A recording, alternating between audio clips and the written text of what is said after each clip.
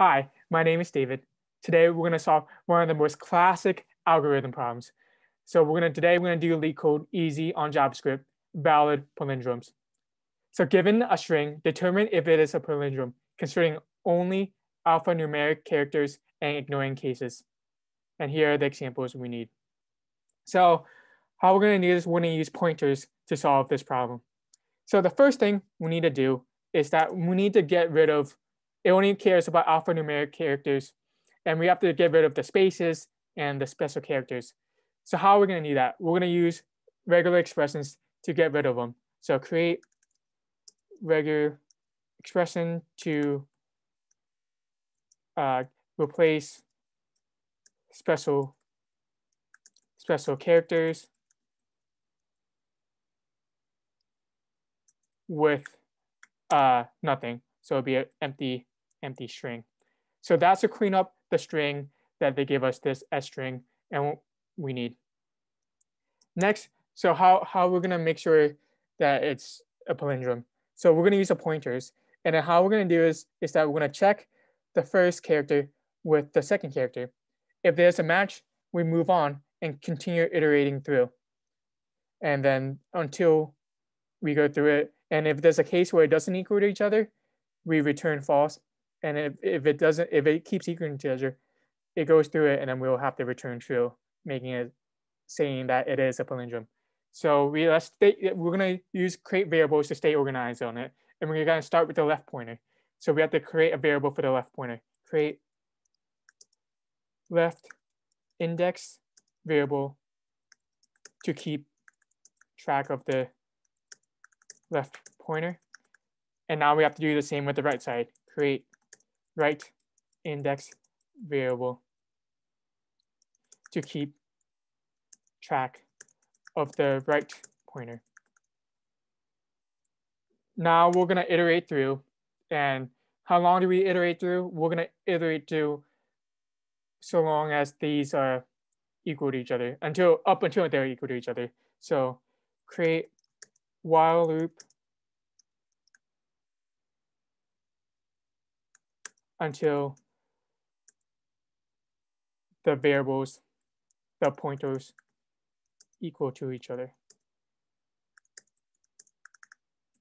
So what happens in this while loop? We have to check the values of each one. And it will be false if they don't equal to each other. So we'll exit the loop when it's a false, when they don't equal each other. So we have to create a condition for this. Create condition to see if values of pointers don't equal to each other. And we do, and when that happens, we return false.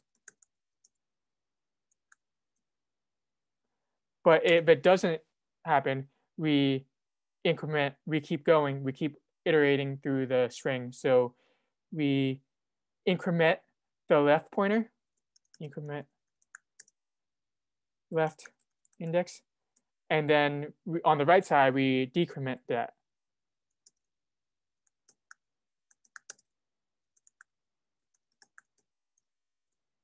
And we're pretty much, and if it goes through the entire loop without returning false, we return true because everything equals to each other. Return true. Values in the string are equal to each other. Okay, now let's put this into code.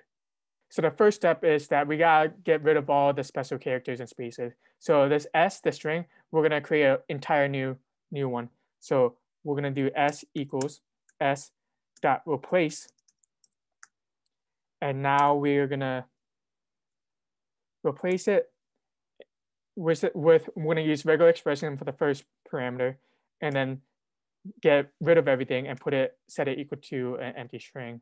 So now we have to bring up the syntax of the regular expression. So we do slash bracket, bracket. And inside of this, we want everything that's not uh, alphabet, uh, alphabetical or numeric. So this would be not an A to Z, and also 0 to 9. And this will be globally and including the lower cases and upper cases for this.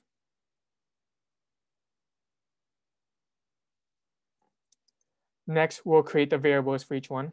Let left index. And we're gonna start at the index of zero for the left side. And then on the right side, index, we have to do the length of it minus one, and that will give us the endpoint of the index. Now we create a while loop until left index is less than right index. And inside of this, we have to create the condition to see if, to check the values. And if they're false, if they don't agree with each other, we return false. So if, now we get the values, S left index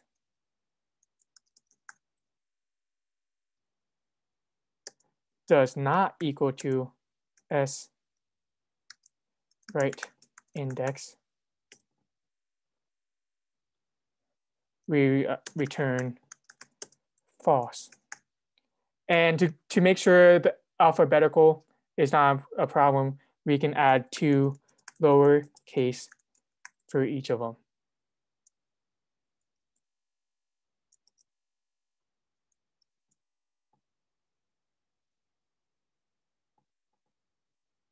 and, I, and then we increment the left index by one if we keep, keep going through it as long as they're equal to each other. And then we decrement, I'm sorry, left increment, we do encode, we do the plus plus. And for the right side, we do a minus minus. And once that's through, we will return true once you go through it all.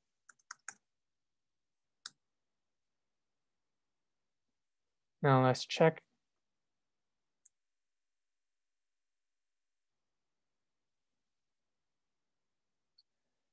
Sorry, we need a closing parentheses here.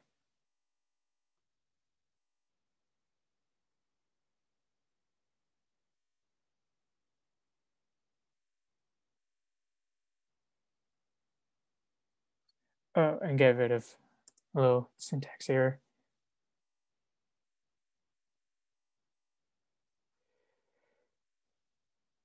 Great.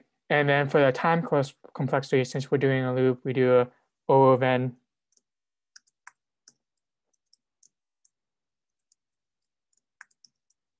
because we have a loop. And then the space, we're just storing a constant variables. So it'll be O of 1.